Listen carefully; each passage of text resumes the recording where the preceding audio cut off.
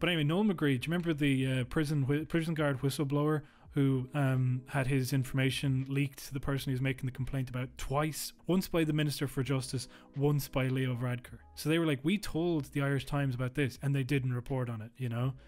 And so then Mark Paul retweeted this about uh, Tony Groves and Martin McMahon saying like he said the Irish Times lives rent free in these guys' angry heads. You know they're so furious all the time, and it's like oh, it's such a shame. You know, and like these people, it's like you know you think that they. He was kind of going like oh, like I feel bad for you. You should get help, kind of thing. And I was like.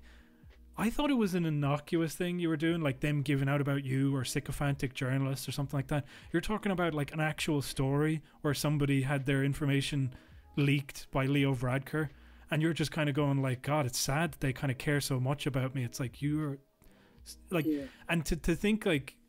Just that this is their attitude to like fucking news, to people, and to suffering, and to struggling, and it's like they think that their job is kind of like, you know, like uh, that's why I tweeted out and uh, like, but like I was like, those people care more about the integrity of the Irish Times than you do, like because you were the they were the ones kind of they're the ones saying like, I, you're serious? You wrote an article about Leo Varadkar based on 55 pieces, Mm. do you know?